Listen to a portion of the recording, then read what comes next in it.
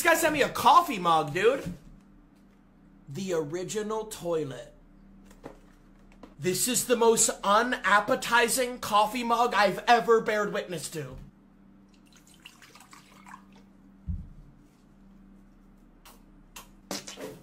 Yeah, I don't even want to think about drinking out of a toilet.